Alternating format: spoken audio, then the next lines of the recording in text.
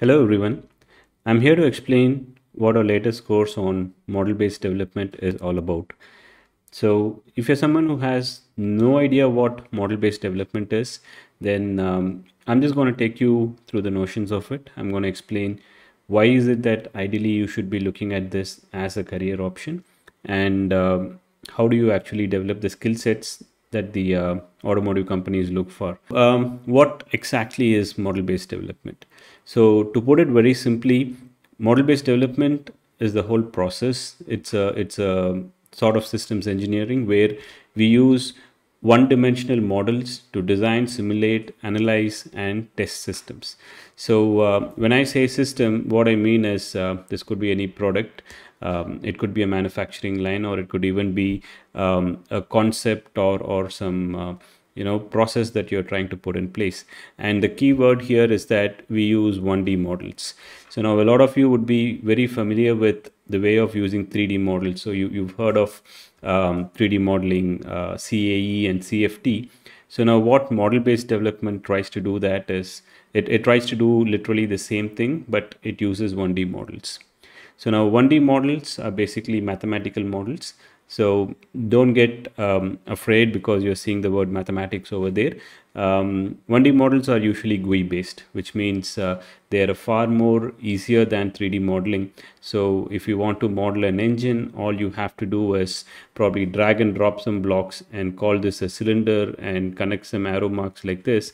So then this becomes a cylinder into which air comes, air goes out. You just enter some um, properties of air, how much volume comes in and your engine is done. So now this is one major advantage that the 1D modeling has because to do any kind of a simulation at a very rudimentary level, all you need to do is just drag and drop elements and you would be able to have a working model. Whereas the same thing to do with 3D model, it's kind of going to take you quite a bit more than that.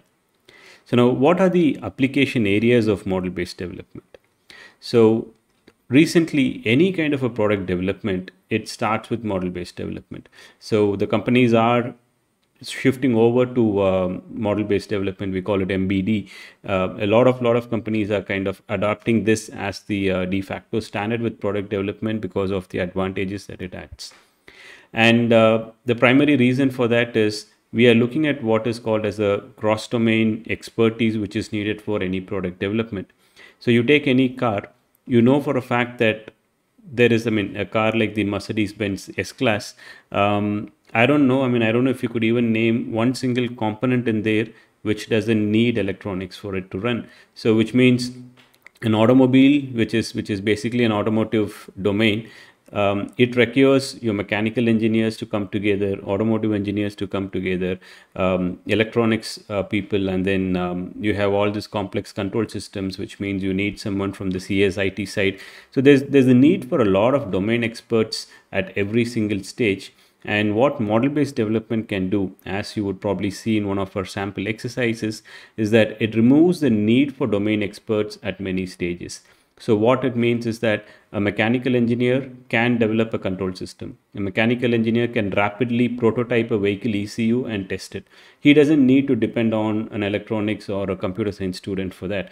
So which means uh, we usually use model-based development for pretty much the entire product development lifecycle. So right from the concept design, the architecture, detailed design, integration, verification, validation, testing, you can do pretty much the entire product development lifecycle, the PDLC uh, that we call. So the uh, entire V model of development, starting from requirements gathering, moving up to uh, testing validation, we can kind of do it using model-based development. And the domains that this is usually used for as you can probably like uh, see like it starts from automotive systems and um, you even have business intelligence and financial services running on various models. So that's how powerful model based development is. And what this means for you the reason why you should learn model based development is that the sheer amount of demand that you have for these skill sets. So let me let me show you a small thing right now. Let me just uh, do a small search right? And uh, let me use Naukri. So um, I'm here and uh, suppose I search for any 3D modeling tool, right? So you're a, you're a fresher. So let me search for a CATIA fresher and look at the number of jobs that's available. 42.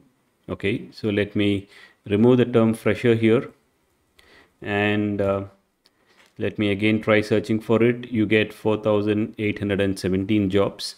And um, if I were to uh, further go back and if I were to like, uh, um, you know, kind of put it into uh, the, the, um, the starting level jobs, then yes, I mean, still not bad.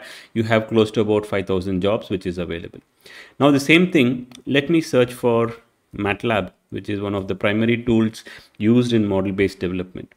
And you see here, there is around 19,000 jobs which are available in MATLAB, which means the sheer amount of demand that you have for a tool like MATLAB Simulink, that kind of takes care of this. So you, you have a sheer amount of demand across different domains right? Which means you can choose to have multiple career paths. So you could be a mechanical sciences student you could kind of get into vehicle dynamics and model based development would be a stepping stone for it. Or you could be a ECE student, you want to get into uh, working on um, autonomous driving systems or something, model based development is what is going to take you there. So, the amount of jobs that's available across different domains that kind of should speak for itself.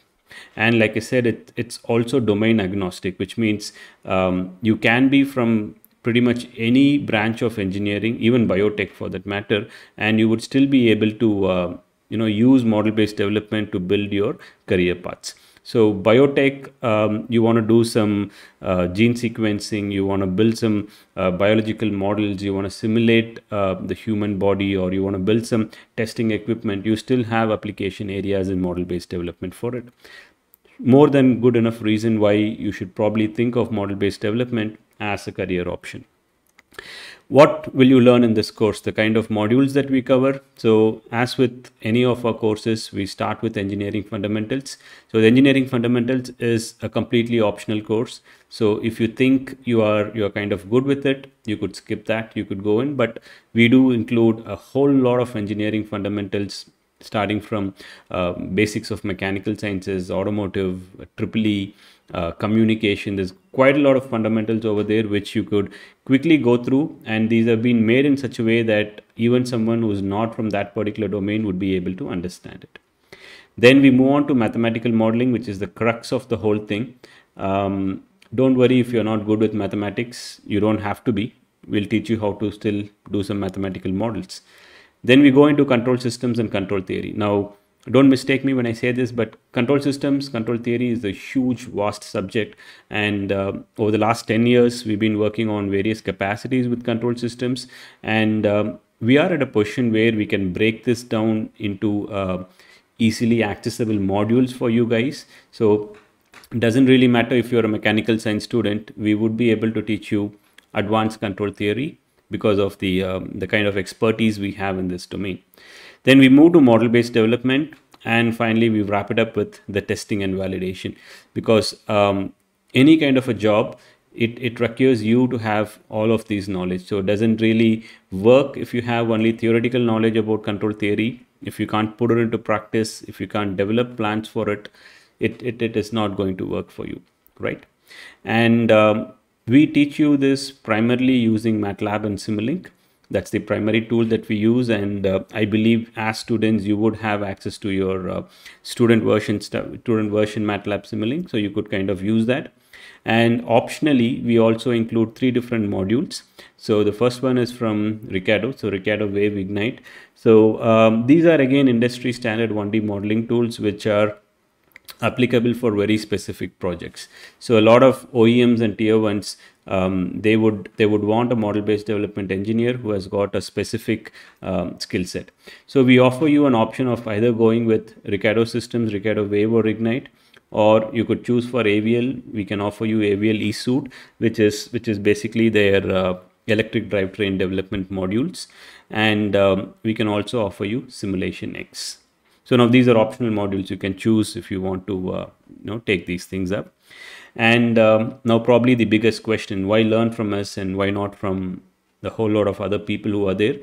Um, the first, first and, and probably the, the foremost important reason I would I would say is this: um, we are not fresh entrepreneurs. We are we are professionals with 20 years of industry experience. Myself, my my my other directors in the company, each one with a specific domain expertise of not less than 15 years.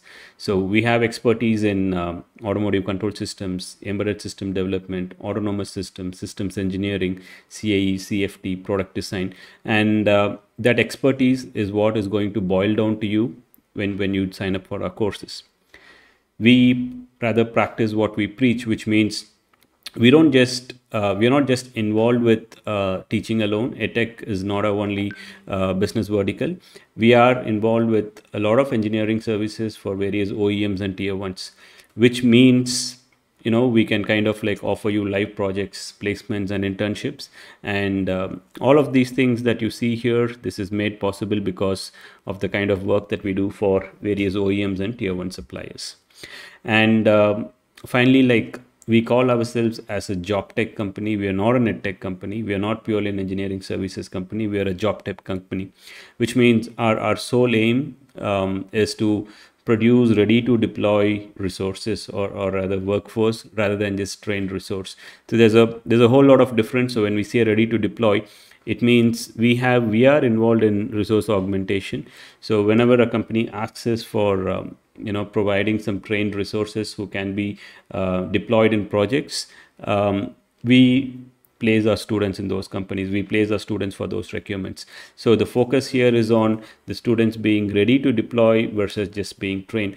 So ready to deploy is where you have some real experience and you can you join a company and you start working the next day. And that is what industries are looking for these days. And and it's more so in the post covid era now that you've probably like uh, decided that um, MBD is the course for you, um, the next next big question on your mind is going to be um, which version of the course do I choose? There are three different versions, so which version do I choose?